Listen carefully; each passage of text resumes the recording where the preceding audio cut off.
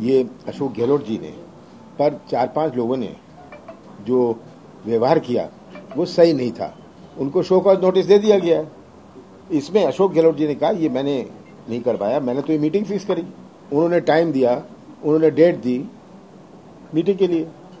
तो अगर ये चार पाँच ने किया है आपको कार्रवाई हो उनके ऊपर। अशोक गहलोत जी को क्लीन चिट दे रहे हैं आप। मैं क्लीन चिट नहीं दे रहा मैं कह रहा हूँ जो वो कह रहे हैं जो वो कह रहे हैं।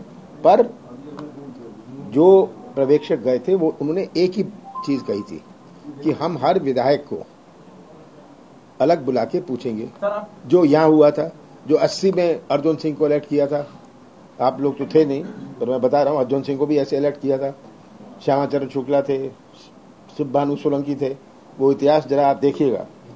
एक एक विधायक को बुला के उन्होंने पूछा था। आपको लगा आपका और दिग्विजय सिंह का नाम आपका और दिग्विजय सिंह का नाम भी चर्चाओं में है कि आप लोग देखिए मैंने पहले कहा था मैंने मैं दिल्ली गया था मैंने कांग्रेस अध्यक्ष सोनिया जी से कहा कि मैं मध्य प्रदेश नहीं छोड़ूँगा।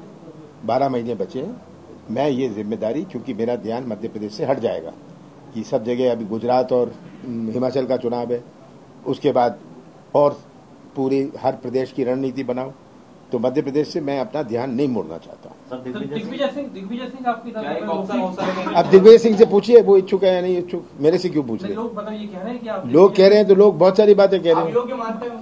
हैं मेरा योग्य मानने योग्य नहीं मानने का प्रश्न नहीं है। दिग्विजय सिंह से आप ये प्रश्न पूछ लीजिए कि आप वो इच्छुक है या नहीं। सर लोग कह रहे हैं कि ऐसी अनुशासनहीनता कांग्रेस आला कमान के अनुशासनहीनता तीन चार लोगों की हुई। ये तो शो कॉज नोटिस दिया गया है। और वो पर्यवेक्षक ने आके रिपोर्ट दी है सोनिया जी को। आ, तो वो कहते हैं मैंने मीटिंग बुलाई। अशोक गहलोत तो कहते हैं मैंने मीटिंग बुलाई। मैंने टाइम फिक्स किया। विधायक लगभग सब मेरे साथ थे। तो आप अलग पूछो साथ साथ पूछो मुझे तो अच्छा ही है कि सब मेरे पक्ष में ही वो नहीं है। तो मैं क्यों इसमें अड़चन डालता? सर मतलब ये भी कहा जाता है सचिन को रोकने के लिए। सिंधिया- के साथ जो हुआ वही सचिन के साथ हो है देखिए सिंधिया के साथ क्या हुआ था यहाँ? मतलब जो बात मतलब कह रहे हैं कि जैसे वहाँ नई लीडरशिप को आगे नहीं आने देते। सचिन पायलट ने तो कुछ किया नहीं। उन्होंने तो कोई को, कोई प्रे- मीडिया में भी नहीं आया कि उन्होंने कुछ ऐसी बात करी। उनको मीटिंग के लिए बुलाया गया वो बैठ जाके मीटिंग में बैठ गए। जहाँ मीटिंग थी। नई लीडरशिप को आगे नहीं आने देते कांग्रेस ये देखिए नई लीडरशिप ये मोदी जी तो कहें सत्तर साल के हो गए वो भी तो नई लीडरशिप को आने दें।